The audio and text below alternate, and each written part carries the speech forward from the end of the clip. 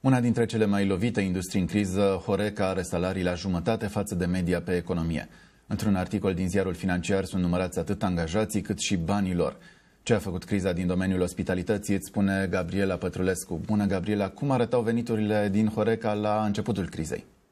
Pandemia a lovit buzunarul angajaților din Horeca exact când le mergea cel mai bine. Să-ți faci o idee de ce spun asta, luăm 2016. Aveam un salariu mediu net undeva la 1200 și ceva de lei, iar de la an la an au reușit să-l crească cu sume cuprinse între 100 și 250 de lei. Ei, în 2019 au avut cel mai mare salariu mediu din ultimii 5 ani, 1832 de lei. Așa i-a găsit criza. Bun, ce se întâmplă acum în conturile unui angajat din uh, Horeca? Este, salariul lor este undeva la jumătate față de salariul mediu, în general vorbesc, salariul mediu pe economie. Dacă în septembrie 2020, despre această lună vorbim, salariul mediu era undeva la 3321 uh, de lei, ei bine, pentru un angajat de hotel sau de restaurant, banii în mână, netul, era undeva la 1750 de lei.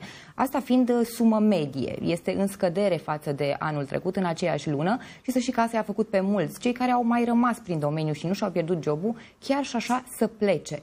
În septembrie, luna aceasta, față de luna trecută, au fost cu 9200 mai puțini angajați, iar per total, Dragoș Petrescu, unul din reprezentanții Horeca, spune că în total anul acesta s-au uh, pierdut peste 40.000 de oameni în Horeca, oameni în care s-a investit.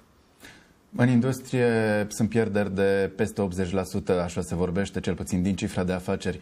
Ce face statul ca să-i ajute pe oameni?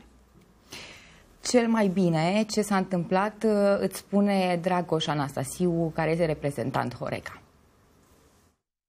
Eu personal, în afară de, știu și eu, ceva șomaș tehnic și arbeit și așa mai departe, nu am beneficiat de nimic de la statul român. Sunt foarte multe măsuri care încă nici măcar nu sunt implementate.